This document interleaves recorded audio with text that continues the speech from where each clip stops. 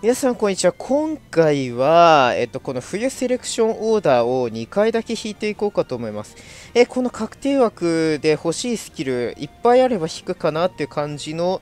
スタイルで私は引いているんですけど、ちょっと前は、あの、欲張りすぎて全部かぶりっていうことになったんで、まあ、あの、この収録している星4スキル確定枠に全部出てきてるんですけどそのうちの半分くらいがだいたい欲しいスキルとなっていたんで俺。それ以外はほぼかぶりだったりまあいらないやつだったりするんですけどまあだいたいね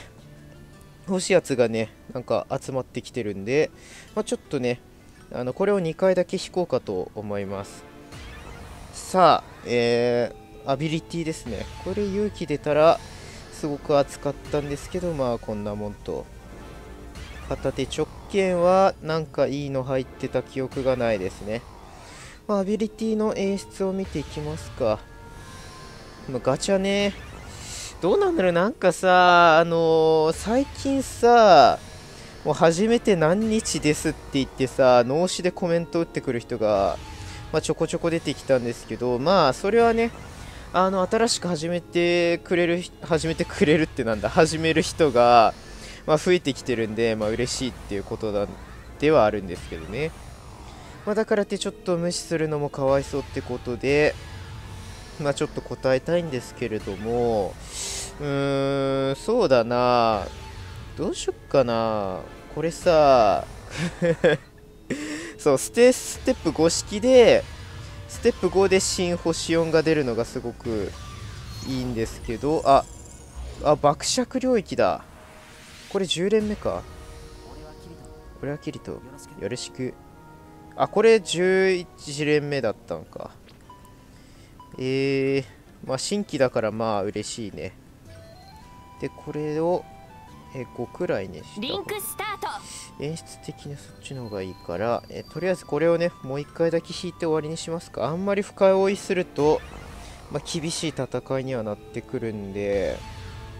まあ5%減ったぐらいかな、欲しい、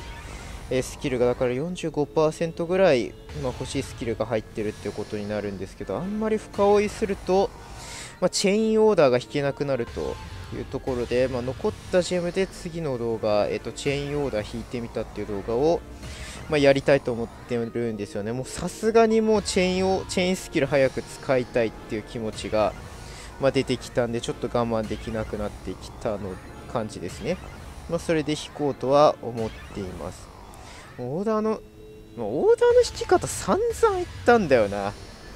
全然話違うんですけど、オーダーの引き方の話なんですけど、もう散々言ったから、